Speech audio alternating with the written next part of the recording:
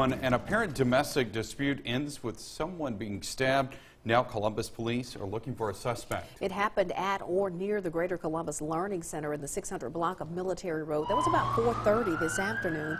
A CPD spokesperson says the victim was stabbed on the right side. The wounds are not life-threatening, we understand. Investigators are not sure what started the argument.